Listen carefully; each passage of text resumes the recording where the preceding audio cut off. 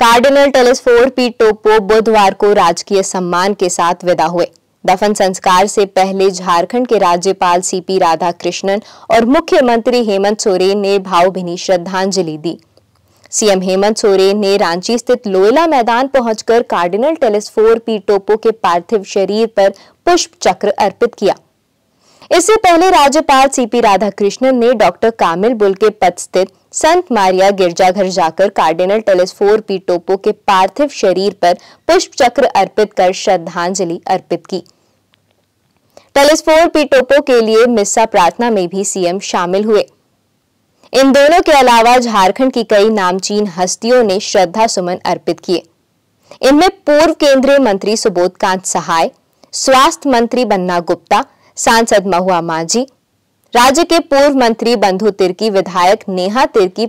इस दुख की घड़ी में मैं ईश्वर से प्रार्थना करती हूँ कि हम सभी को हिम्मत देवे। आमीन। आज कुछ ही महत्वपूर्ण लोगों के नाम से झारखंड की पहचान अंतर्राष्ट्रीय जगत में बनी और उनमें कार्डिनल तेलस्फोर पी टोप्पो का महत्वपूर्ण स्थान है। गुमला ज़िले का एक सुदरवर्ती गाँव में उराव जनजाति परिवार में जन्म लेने वाले कार्डिनल तेलस्फोर पी टोप्पो के स्वभाव में उराव जनजाति के सादगी, सरलता, विनम्रता जैसे सभी गुण थे। कार्डिनल तेलस्फोर पी टोप्पो का नाम केवल इसलिए महत्वपूर्ण नहीं है क्योंकि वह जनजाति जनजाति समुदाय के बीच से उभर कर आने वाले एशिया के पहले आदिवासी कार्डिनल थे।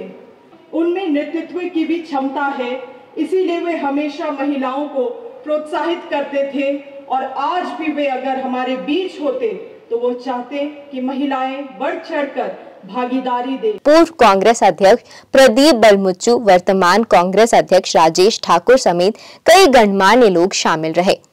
संत मरिया महागिरजाघर में आर्च बिशप कार्डिनल टेलीस्फोर चौथे आर्च बिशप हैं, जिन्हें लेडियानी बेदी में दफनाया गया है। उन्हें मदर टेरेसा की प्रतिमा के ठीक नीचे दफनाया गया।